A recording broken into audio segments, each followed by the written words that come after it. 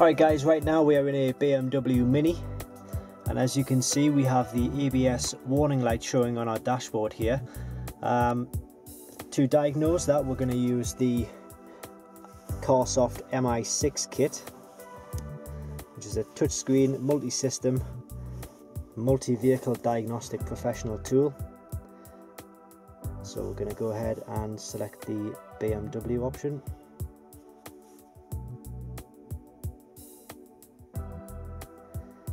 and see if we can diagnose the ABS light.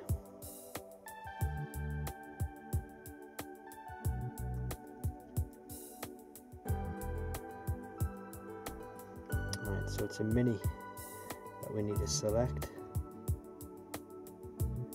It's within the chassis section, ABS system.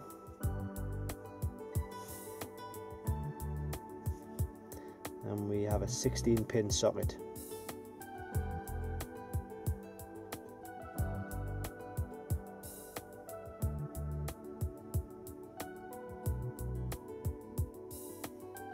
Just busy connecting to the ABS system now.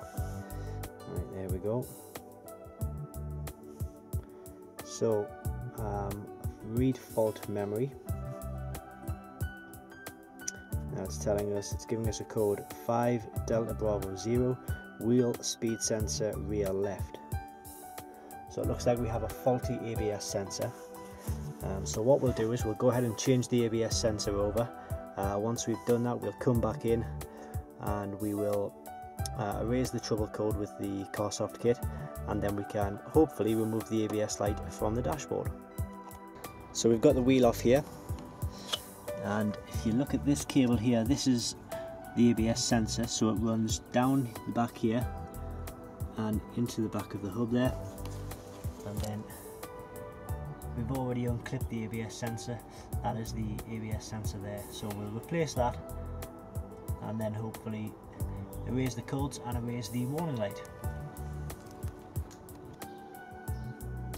Okay, so this is the replacement ABS sensor which we have here. You can see the uh, part number. It's not the same on all vehicles, but most minis of this age you will find the same part number.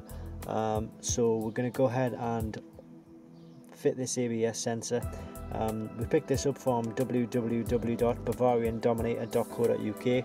Uh, you can just search for uh, Dominator Auto Diagnostics in your Google search engine and you should find this website and navigate your way to the ABS sensors for mini vehicles. Okay, so we're back in the vehicle now um, after having diagnosed with the CarSoft kit. So we're just going to turn the engine on put the new ABS sensor in, as you can see the ABS light is still on so what we need to do is go ahead and remove the code which should remove the ABS warning light. Right so clear fault memory are you sure you wish to clear the fault memory? We'll click yes.